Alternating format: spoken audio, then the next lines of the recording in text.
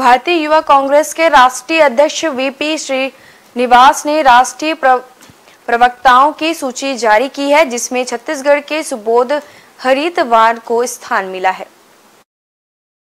सुबोध हरितवाल को वरिष्ठ राष्ट्रीय प्रवक्ता के तौर पे ज़िम्मेदारी दी गई है। जारी की गई सूची में सीनियर राष्ट्रीय प्रवक्ता राष्ट्रीय प्रवक्ता और राष्ट्रीय मीडिया पैनलिस्ट शामिल किए गए हैं। नवंबर 2022 में युवा कांग्रेस की मीडिया विभाग की सूची को भंग किया गया था, जिसके बाद उसका पुनर्गठन किया गया और नए सिरे से प्रवक्ताओं की नियुक्ति की गई छत्तीसगढ़ से सुबोध हरितवाल को यथावत रखते हुए वरिष्ठ राष्ट्रीय प्रवक्ता बनाया गया न्यू वीडियोस की अपडेट पाने के लिए सब्सक्राइब करें इंडियन न्यूज़ को और बेल आइकन को दबाएँ।